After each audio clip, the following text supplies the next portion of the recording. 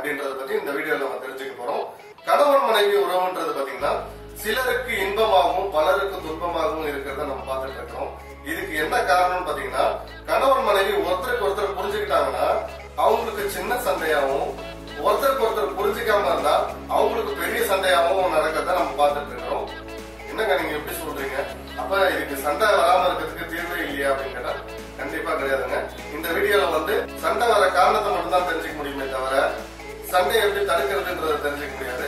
இதை நீங்க ரீசனை புரிஞ்சுக்கிட்டு இதை நீங்க கண்ட்ரோல் பண்ணா வேண்டாம் நீங்க தவிர்க்க முடியும். கணவருக்கும் சரி மனைவிக்கும் சரி ரெண்டு பேருமே நினைச்சுக்கிற ஒரு தப்பான விஷயம் என்னன்னு பாத்தீங்கன்னா இந்த குடும்பத்துக்காக நம்ம தான் மாடா பழைக்கிறோம் அப்படின்னு ரெண்டு பேரும் மாத்தி மாத்தி சொல்லிக்கிறாங்க. கணவன் என்ன சொல்றாருன்னா இந்த குடும்பத்துக்காக டே டியூட்டி நைட் டியூட்டின்னு ரெண்டுத்தையுமே மாத்தி மாத்தி செய்யறேன். ஞாயிற்றுக்கிழமை கூட ஏதாவது ஒரு நாள் தான் லீவு கிடைக்குது அப்படின்றத சொல்லி இவரு ஃபீல் பண்றாரு. மனைவி என்ன சொல்றாங்கன்னா இந்த குடும்பத்துக்காக காலையில இருந்து நைட்டு வரைக்கும் மாடா வேலை செஞ்சுட்டு இருக்கிறேன் நானு. ஞாயிற்றுக்கிழமை கூட ரெஸ்ட் இல்லாம உங்களுக்கு எல்லாம் சமைச்சு போட்டு இருக்கிறேன். எனக்கு இதெல்லாம் தேவையா? அப்படின்ற ரெண்டு பேரும் மாத்தி மாத்தி சொல்லிக்கிட்டு சண்டையை பெருசாக்கிட்டு இருக்கிறாங்க.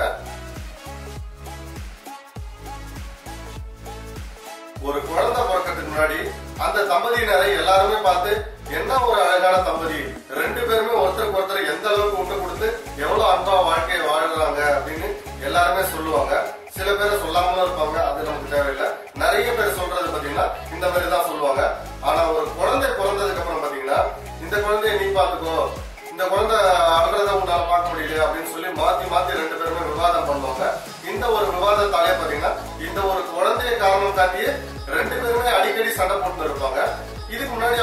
அவங்க இருப்பாங்க. இதுக்கு முன்னாடி நம்ம இந்த அளவு சண்டை போட்டது இல்லையே அப்படின்னு. ஆனா இந்த குழந்தை மேல உள்ள அதிகப்படியான அன்பால ரெண்டு பேருக்கும் ஏகப்பட்ட சண்டைகள் வரதான் நீங்க ஈஸியா பார்க்க முடியும். கணவர் நினைக்கிறது என்னன்னா தன்னுடைய பெற்றோர்களை மனைவி அன்பாக பாத்துக்கணும்னு ஆசைப்படுறாரு. அதே மாதிரிதான் மனைவியும் வந்து தன்னுடைய பெற்றோர்களை தன்னுடைய கணவர் வந்து அன்பா மதிக்கணும் நல்ல மரியாதை கொடுக்கணும் அப்படின்னு ஆசைப்படுறாங்க. ஆனா இதுல ரெண்டுல ஏதாவது ஒண்ணுதான் நடக்கிறதுக்கு சாத்தியம். கணவர் வந்து தன்னோட மாமியாருக்கோ இல்ல மாமனாருக்கோ மரியாதை கொடுப்பாரு. அப்படி இல்லைன்னா மனைவி வந்து தன்னுடைய மாமியாருக்கோ இல்ல மாமனாருக்கோ மரியாதை கொடுப்பாங்க. இதுல ரெண்டுத்துல ஏதாவது ஒண்ணு கண்டிப்பா மைனஸ்ல தான் இருக்கும். ரெண்டுமே பிளஸ் ஆகிறதுக்கு கண்டிப்பா சாத்தியம் கிடையாது. இந்த மாதிரி சாத்தியம் இல்லாதனாலே ரெண்டு பேருக்கும் சண்டை அதிகமாகுது. மனைவி என்பவள் இன்னொரு தாய்க்கு சமம் அப்படின்னு உங்க தாய்க்கு முன்னாடி நீங்க சொன்னீங்கன்னா அவங்க காதல அது கேட்டுச்சுன்னா அவங்க என்ன சொல்லுவாங்கன்னா என்னப்பா சொன்னா? அப்படின்னு. நான் எதுவும் சொல்லியேம்மா அப்படின்னு வந்து நீங்க உடனே மாறுற அளவுக்கு உங்களுக்கு உள்ள ஒரு பயத்தை உண்டாக்கும். இதே போல மனைவி முன்னாடி என்னோட தாய் மாதிரி இது இந்த உலகத்துல யாருமே கிடையாது அப்படின்னு நீங்க சொன்னீங்கன்னா அதுக்கு அவங்க ஒரு பார்வை பார்த்துட்டு என்ன சொன்னா? அப்படின்னு. நான் அந்த மாதிரி எதுவும் சொல்லியேம்மா என்ன சொன்னேன் அப்படின்னு கேட்கிற ஒரு நிலை வந்தோம் ஏன்னா ரெண்டு பேருக்குமே இவங்கள புகழ்ந்தா அவங்களுக்கு பிடிக்காது அவங்கள புகழ்ந்தா இவங்களுக்கு பிடிக்காது. இந்த புகழ்ச்சியை வந்து நீங்க ரெண்டு பேருக்குமே தனித்தனியா வச்சுக்கிட்டீங்கன்னா ஓரளவுக்கு சண்டை குறையும். பெண் வீட்டார் என்ன பண்றாங்கன்னா உங்களை நம்பி பெண்ணை ஒப்படைக்கிறாங்க. நீங்க என்ன பண்ணணும்னா அந்த பெண்ணை வந்து கண்ணும் கருத்துமா பாத்துக்கணும் ஒரு வகுப்பு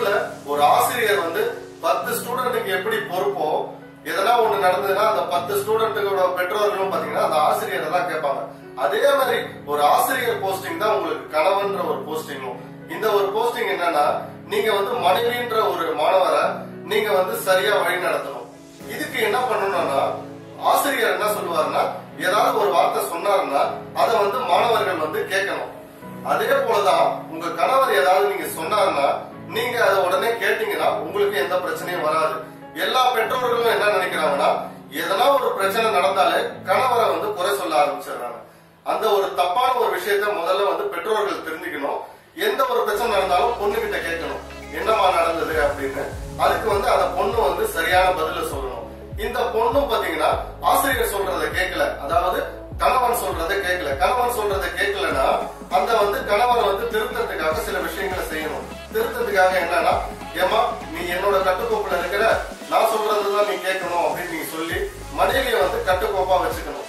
ஏன்னா மனைவி நம்ம சொல்ற பேச்சு கேட்கலன்னா அவங்க வந்து அவங்க விஷயத்துக்கு இருக்கும்போது ஏதாவது ஒரு பிரச்சனை நடக்கும்போது பாத்தீங்கன்னா முதல்ல கேட்கறது வகுப்புல எப்படி ஆசிரியரை கேட்பாங்களோ அதே மாதிரி கணவரை தான் கேட்பாங்க. இது வந்து நான் ஆணாதிக்கத்துக்காக நான் சொல்ல வரல நானு. ஏன்னா ஒரு பெண்ணுன்றது பாத்தீங்கன்னா ஒரு ஆணை நம்பி தான் வராங்க. ஏன்னா அந்த குடும்பத்தை விட்டு இந்த குடும்பத்துல வந்து அவங்க செட்டில் ஆகுறாங்க. தனியா வந்து அந்த வீட்டுல தங்கியிருக்காங்க. அவங்களுக்கு கணவர் தான் அதனால நீங்க வந்து கணவர் சொல்றதை கேட்டீங்கனாலே உலகத்துல உள்ள பாதி பிரச்சனைகள் ஒழியும். ஆனா மனைவிகள்லாம் என்ன நினைக்கிறாங்கன்னா நீ சொல்றதை நான் கேட்கணுமா? நீ நானும் சமம் அப்படின்னு வாக்குவாதங்கள் செஞ்சு ஒரு ஆசிரியர்ன்ற ஒரு அந்தஸ்து அவங்களுக்கு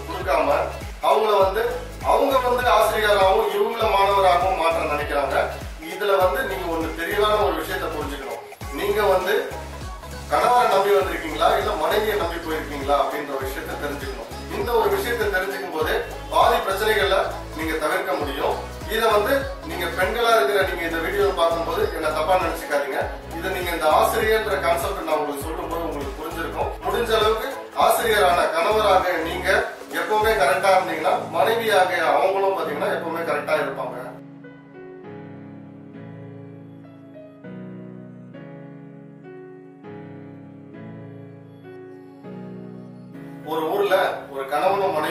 ஒரு சில ஆண்டுகளுக்கு முன்னாடி ஒரு புத்தகத்தை படிச்சிருக்காங்க. அந்த புத்தகத்துல என்ன போட்டிருந்ததுன்னா உன்னுடைய கணவர் உன்னை கொடுமைப்படுத்தினார்னா உனக்கு கஷ்டத்தை கொடுத்தாருன்னா நீ ஒரு களிமண்ணை எடுத்து ஒரு அழகான ஒரு பொம்மையை வடிவமைக்கணும். அந்த வடிவமைக்கிறதுல தான் உன்னுடைய எண்ணங்கள் இருக்கணுமே தவிர அவர் போட்ட சண்டைகள் எல்லாம் உனக்கு இருக்கக்கூடாது அப்படின்னு சொல்றாங்க. அதே மாதிரி இந்த கணவருக்கும் மனைவிக்கும் ரெண்டு பேருமே இந்த இதை ஃபார்முலா ஃபாலோ பண்றாங்க. கணவன் சண்டை போடும்போது இவங்க வந்து சரிங்க அப்படின்னு சொல்லிட்டு இவங்க போயிட்டு ஒரு பொம்மை செய்ய ஆரம்பிச்சிடுறாங்க. மனைவி சண்டை போடும்போது இவங்க ஒரு பொம்மை செய்ய ஆரம்பிச்சிடறாங்க இப்படியே செஞ்சு ரொம்ப டென்ஷன் ஆன மனைவி ஒரு நாள் இதுக்கு மேல இவர் மேல சண்டை போடுறதுக்கு எனக்கு பொறுமை கிடையாது. பொம்மை செய்யறது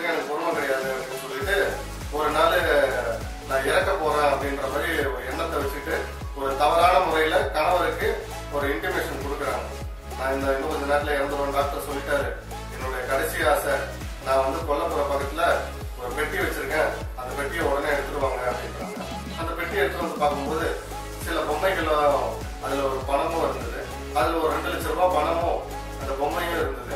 அதுக்கு கணவர் கேட்டாரு எதுக்காக இந்த ரெண்டு பொம்மையும் ரெண்டு லட்சம் ரூபாய் பணமும் இருக்கு? அப்படின்னு கேட்டிருக்காரு. அதுக்கு கணவர் சொ- மனைவி சொல்லியிருக்காங்க இந்த மாதிரி நீங்க என்னை எவ்வளவு கொடுமைப்படுத்திருக்கீங்க இந்த வாழ்நாள் முழுவதும். அதனால நீங்க என்னை கொடுமைப்படுத்தும் போதெல்லாம் நான் இந்த பொம்மையை செய்வேன் நான். உடனே கணவருக்கு சந்தோஷம். அப்ப நான் உன்னோட வாழ்க்கையில ரெண்டு வாட்டி தான் குடும்பப்படுத்திருக்கேன் அப்படின்னு. போங்க. நீங்க கொடுமைப்படுத்தின பொம்மைகள்லாம் வித்துதான் அந்த ரெண்டு லட்சம் வந்திருக்குது அப்படின்னு அவங்க சொல்லியிருக்காங்க. உடனே கணவன் மனைவி இறக்க போறத நினைச்ச கணவர் ஓடி போயிட்டு நானும் ஒரு பெட்டி வச்சிருக்கேன் அப்படின்னு சொல்லிட்டு வேகமா போயிட்டு அந்த பெட்டி எடுத்துன்னு வர்றாரு. அதுல வந்து ஒரு பத்து லட்ச ரூபாய் பணத்தையும் ஒரு ரெண்டு பொம்மையும் எடுத்து காட்டுறாரு. உடனே இது என்னங்க? பத்து லட்ச ரூபாய் இருக்குதுன்னு. நானா உன்னை ரெண்டு லட்ச ரூபாய்க்கு தான் குடும்பப்படுத்திருக்கிறேன் என்ன பத்து லட்ச ரூபாய் குடும்பப்படுத்திருக்கிறேன் நான் தான் பண்றது? அப்படின்னு கேக்குறாரு அவரு. அப்ப புரிஞ்சுக்கங்க. கணவன் எவ்வளவு குடும்பப்படுத்துறாரோ அதை விட மனைவி அதிகமா குடும்பப்படுத்துறாங்கன்றதையும் நம்ம தெரிஞ்சுக்கணும்.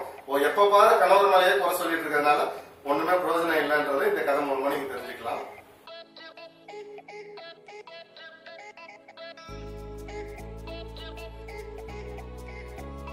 இல்லால் கண் தாழ்ந்த இயல்பின்மை எந்நான்றும் நல்லாருள் நாடும் தரும். இந்த திருக்குறள் திருவள்ளுவர் என்ன சொல்றாருன்னா மனைவியிடம் பயந்து போகின்ற ஒரு கணவர் நல்லவர்கள் முன்னிலையில் வெட்கப்படும் நிலை ஏற்படும். மனைவியோட பேச்சை கேட்கறது ஒன்னும் பிரச்சனை இல்லை. ஆனா மனைவிக்கு பயந்துதான் இருக்கக்கூடாது